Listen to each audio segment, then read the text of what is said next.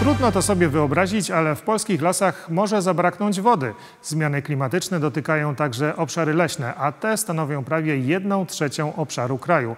O tym, jak radzić sobie ze zmianami, które widać gołym okiem, rozmawiano podczas konferencji Woda i Las – adaptacja lasów i leśnictwa do zmian klimatu, która odbyła się w Katowicach. Paweł Jędrusik. Woda to źródło życia i kto ma wodę, ten ma władzę. Można krótko powiedzieć na temat obecnej sytuacji w lasach związanej ze zmianami klimatu.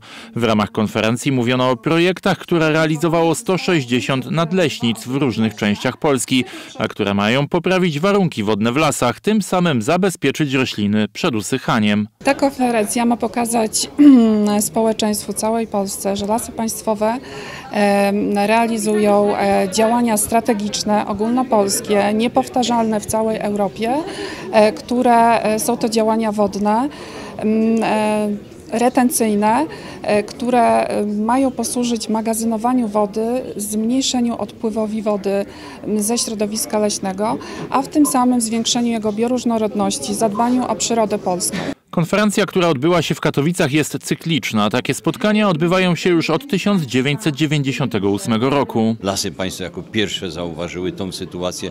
Trzeba to robić, trzeba ratować, trzeba retencjonować wodę. Na dzień dzisiejszy mamy zretencjonowane ponad 50 milionów metrów sześciennych wody w lasach, zarówno w kwestii retencji nizinnej, czyli tych zbiorników na terenach nizinnych, jak i na terenach górskich. Obserwujemy natężenie zjawisk pogodowych, czyli e, krótkotrwałe, intensywne ulewy i na tym głównie e, skupia się, skupiają się prace związane z, z retencją, jakby zabezpieczeniem e, przed takim nadmiernym spływem, czyli zabezpieczamy drogi, zabezpieczamy potoki, e, budując odpowiednie urządzenia, czy to kaszyce, czy to przepusty, czy takie, czy mm, zapory takie przeciwrumoszowe, także no w tej chwili głównie na tym się skupiamy. Podczas konferencji poruszono tematy dotyczące gospodarowania wodą w lasach o różnych formach ochrony, restytucji mokradeł, wpływie bobrów, jakości wód czy wpływu zmian klimatu na różnorodność biologiczną lasów.